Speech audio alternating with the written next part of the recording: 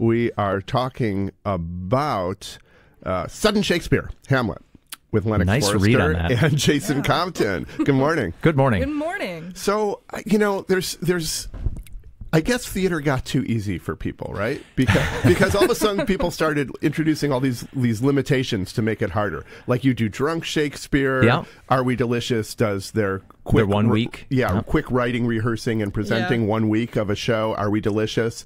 It's like it's like everybody was like, you know, we've done Strindberg, we've done Shakespeare, you know, American players. It's it's just like shooting fish in a barrel now. We got to make this harder. Isn't it hard enough doing theater in Wisconsin in the least arts funded state in the nation practically somewhere in the very bottom in 45's America during this time isn't that hard enough It, it's it, but you know, even if you have a lot of funding, theater is a terrible way of converting human labor into revenue. Like it's it's just it's it's horribly inefficient, no matter what no matter what your your tax base is. So, um, so yeah. you made a quicker way to do it Yeah, we we yeah we're taking on we're taking on challenges with with Shakespeare, uh, which we really have since uh, since the very beginning, and certainly since rebooting. what is the challenge of sudden The challenge of sudden Shakespeare is that director Lennox Forrester, as I gesture to my left for the radio audience, uh, has was able to cast the show back in December. We held a, a traditional audition process, and we cast the show,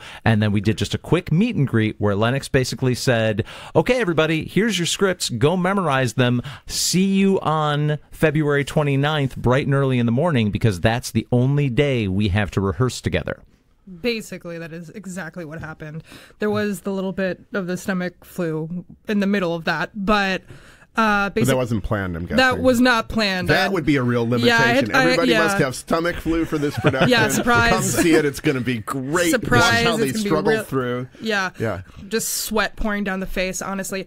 Uh, but yeah, that's basically the concept. It's just running through the entire day, 12 hours, getting the rehearsal in, then doing it. I think the fun of this partly is like, well, Jason, I never thought of it the way you put it. Is like this is actually has some economic uh, realities to it that it makes it uh, Yeah. A little uh, Yeah. more practical. But the reason it works for an audience, I think, is because it's fun to see people struggle up against limitations, and usually those limitations are simply, you know, have you studied your craft? Have you worked your voice down and deep into your diaphragm? Have you under, you know, things like that. Yeah. But these are more fun limitations, like uh, we will only get to rehearse for one day. Uh, what do you think? And limitations create interesting artifacts. They create opportunities and magic sometimes. What do you think is the limit? What What does this limitation produce for you? Um, I think for me personally, when you have a longer rehearsal process, you have more of that directorly eye going in and picking out all the things that the director doesn't like and being like, we're going to keep this and we're going to tell you to just back off a little bit. Whereas I think when you have the single day, you're working mostly with what the actors raw have brought to you and you have to go with their first instinct rather than the polished directorly instinct that you have. So I think that's much more fun to watch in general, just to like figure out how to move them in the correct direction without like killing their vibe. I think in the rehearsal process too, actors uh, are going to adjust if they're generally rehearsing at home, and then they come in and they see what the other actor is bringing. If it's two people in a scene, that's going to change. Yeah, and people, and some people will have a chance to work with people that they're very familiar with, uh, because we have we have a, a pretty good mix of, of some some faithful, familiar faces, and some people who have never worked with us before, who have never done Shakespeare before, who haven't appeared on a Madison stage before. So there will be those those quick discoveries. And the other thing that I wanted to point out is that choosing Hamlet for this project, talking about opening up opportunities, people have naturally been asking, when is Madison Shakespeare going to do Hamlet? When are you going to do Hamlet? And the answer has always been this sort of like, well, we really should make sure that we have everything just right. You know, so when Lennox was talking about that director eye, but you, you know, you, you take on Hamlet, you go like, we would need to have the absolute best designers and the best director and the best concept. And oh, when will that ever come?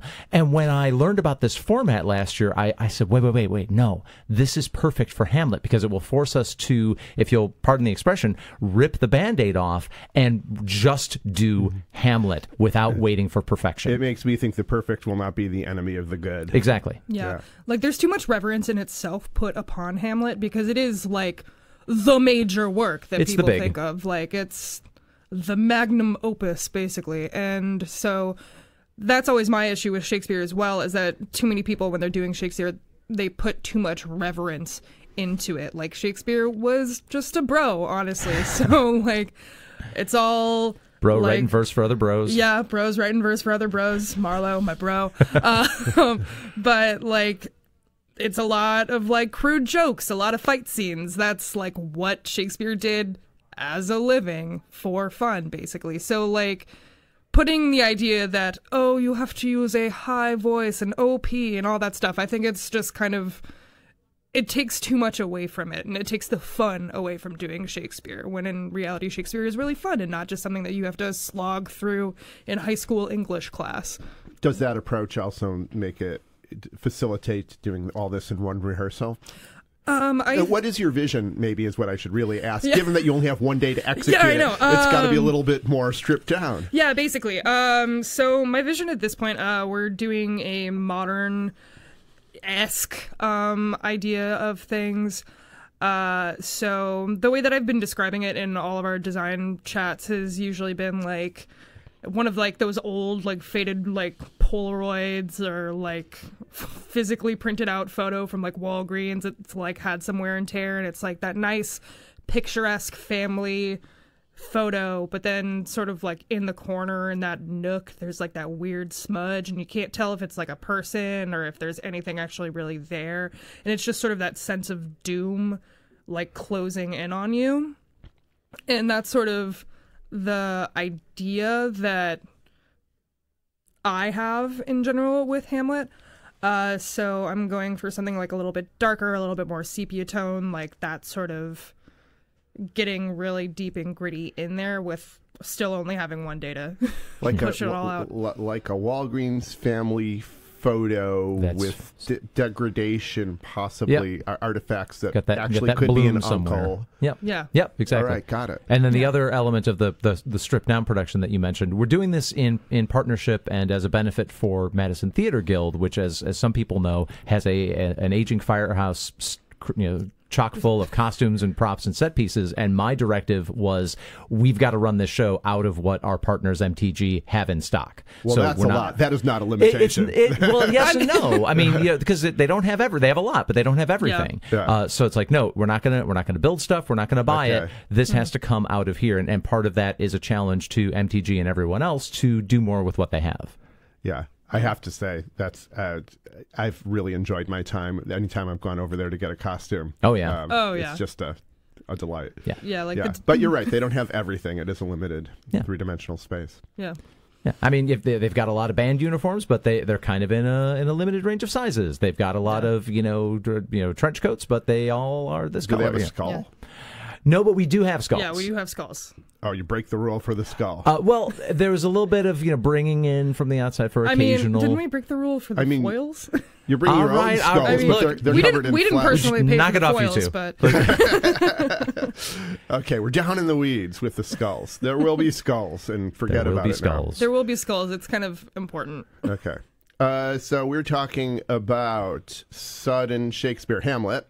And uh, we've been speaking with Lennox Forrester and Jason Compton. If you'd like to see this show that we're talking about, it is Saturday, February 29th at 7.30 p.m., which happens to be the first and last day of rehearsal, as we've been saying. It's at the Bartell Theater in the uh, on the Drury stage. Uh, and uh, you can find tickets for all the Bartell shows and all the many companies at the Bartell website. Thanks for joining us this morning. Thank you, Jonathan. Thank you.